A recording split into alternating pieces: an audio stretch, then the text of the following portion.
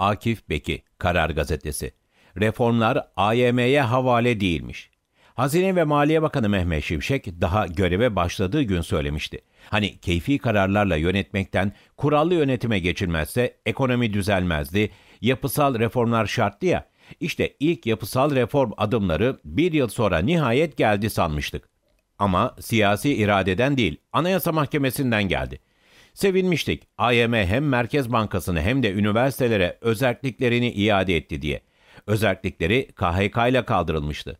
Merkez Bankası Başkanı ve rektörlerin görevden alınma ve atanması ile ilgili kurallara, kısıtlamalara geri dönülüyordu. İdare bir Cumhurbaşkanı kararnamesiyle istediği gibi görevden alıp atayamayacaktı. Keyfiliğe izin veren KHK'larla ilgili düzenlemeler iptal edilmişti. Yani laf dinlemedi diye süresi dolmadan Merkez Bankası Başkanı'nı değiştirme dönemi bitiyordu. Başkanlar doğru buldukları para politikalarında ısrar edebilecekti. Üniversiteler siyasetçilerin arka bahçesine çevrilemeyecekti. Zaten AK Parti ekonomiyi toparlamak için mecburi bir reform dalgasına hazırlanıyordu. Yapacaklarının ikisini AYM halletmiş oluyordu. Böylece iktidar da zahmetten ve geri adım atmaktan kurtuluyordu. Demek iyi ki hukuka uygunluk bakımından iktidarı denetleyecek bir anayasa mahkemesi vardı ve iyi ki anayasaya aykırı düzenlemeleri AYM'ye götürecek bir CHP ana muhalefetteydi. AYM ile CHP'nin varlığı sadece Türkiye'ye, milletin menfaatlerine yaramıyordu demek. Bakın aynı zamanda AK Parti'ye de yarıyor. Onurlu çıkış sağlıyordu. Herhalde yerli ve milli olmayıp milli güvenlik sorunu oldukları artık söylenmezdi. AYM ile siyasi muhalefetin kıymeti bilinir, karalamalara son verilirdi. Ayrıca AYM eliyle yapısal reform güzel ama yalnız başına yetmezdi.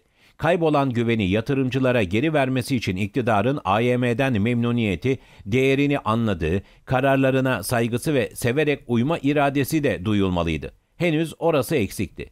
Ya iktidarı beğenmez de uymama, takmama hakkını yine kullanmaya kalkarsa, bu şüphe giderilmeden reformlar beklenen etkiyi uyandıramazdı. Bir eksiklikle ihale yasasının yeniden düzenlemesiydi. Şimşek gündemlerini aldıklarını açıklamıştı. İhalelere şeffaflık getirmek, kötüye kullanımların önüne geçmek için ne bekliyorlardı? Niye geciktirdiklerini iyi niyetle anlamak zordu. Yoksa onu da mı AYM halledecekti? Derken akşam saatlerinde iktidardan ilk tepkilerin gelmesiyle reform hevesleri kursakta kaldı. İletişim Başkanlığı'yla Cumhurbaşkanı Başdanışmanı Uçum, kararın yukarıdaki gibi yorumlanmasını yalanladı. AYM, kanunla düzenlenmesi gerekirken KHK ile düzenlendiği için bazı maddeleri usulden iptal etmiş, esasla Cumhurbaşkanı'nın atama yetkileri yerli yerinde duruyormuş. Boşa heyecanlanmışız ve selam. Merkezin kasası nasıl doluyor?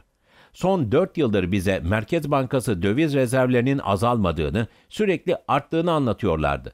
Net rezervlerden ne haber? 130 milyar dolardan eksiye nasıl düştü? Kaybolan rezervler nerede dediğinizde karşınıza brüt rezerv rakamlarıyla çıkanlardan söz ediyorum. Rezervler yerinde duruyor. Nereye kaybolacak? Hatta arttı diye üsteliyorlardı da. Örnek mi?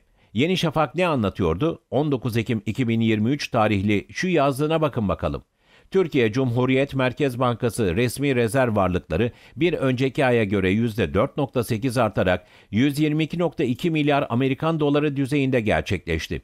Bir ayda 5.6 milyar dolar geldi.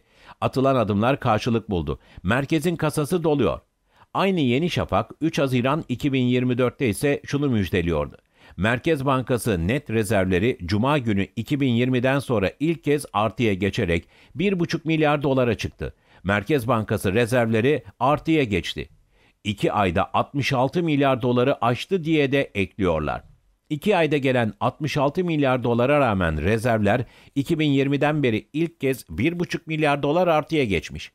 Önceden dolu muydu değil miydi? Merkez kasası yeni doluyorsa nasıl boşaldı, ne yapıldı da o zaman boşalırken şimdi doluyor? Biri bize doğruyu söylemedi mi? Siz düşünün. Fakat kara kara düşünün. Çünkü kaç yıldan beridir niye sürekli fakirleştiğiniz ve hangi yanlışların bedelini ödemeye devam edeceğinizin cevabı da o sorularda.